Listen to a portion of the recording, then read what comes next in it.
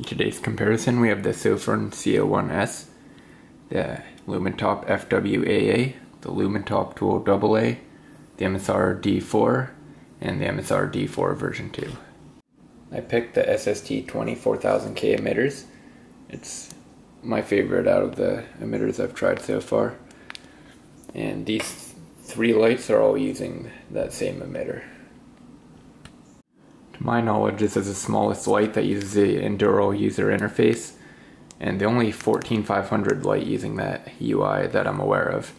If there are any others, feel free to let me know in the comments. Start with the smallest, the Sofirn C01S, using the SST20 4000K emitter. This should be about 100 lumens. Now the FWAA, uh, the Sofirn, the Lumintop FWAA. The Lumintop Tool AA. It should be around 650 lumens, but has a bit more throw than the FWAA. Now we have the FWAA, the tool on the right, FWAA on the left. The FWAA has more light output, but it heats up much faster. Now we have the Emisar D4. This is using the same emitters as the FWAA, but four of them instead of three. It's a bigger light. It should be some more light output. Now we have the FWAA. D4, FWAA.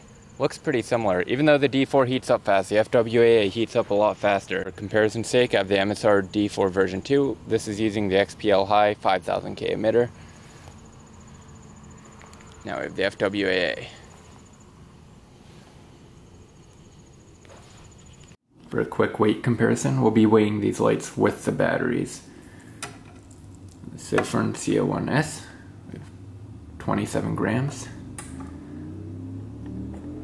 Lumintop FWAA, 56 grams. Lumintop Tool AA, 45 grams.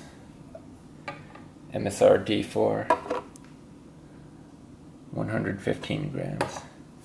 D4 version 2, 126 grams.